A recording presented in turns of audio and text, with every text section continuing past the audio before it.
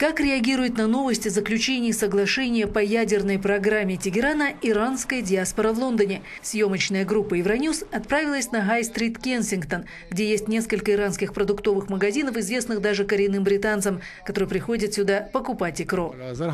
Мнения обосновавшихся в Лондоне выходцев из Ирана разделились. Все сейчас просто счастливы и надеюсь, что после этого наконец-то цены в стране упадут и люди смогут немного вздохнуть. А еще я надеюсь, что для иранцев теперь проще станет выезжать за границу и путешествовать. Я думаю, что все эти соглашения и переговоры лишь политические игры. Ни слова не говорится теперь ни о правах человека, ни о положении в этой стране. Так что, по-моему, все это лишь пустые разговоры. Приехавший в Лондон иранский турист настроен оптимистично. У нас в Иране даже власти признают, что эти санкции буквально хребет переломили народу, и в особенности среднему классу. Я надеюсь, что это соглашение принесет нам, наконец, облегчение, и наша страна станет процветать.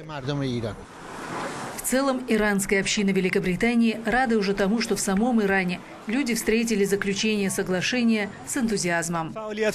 Ядерная программа обернулась для Исламской Республики Иран многолетними переговорами, месяцами ожесточенных торгов и многочисленными жесткими санкциями, финансовыми и экономическими. Сейчас, когда соглашение наконец достигнуто, жители Ирана и иранцы, живущие за рубежом, надеются на то, что экономическое давление снизится и жизнь людей в этой стране станет немного лучше, передает из Лондона корреспондент Евроньюз Али Харатпир.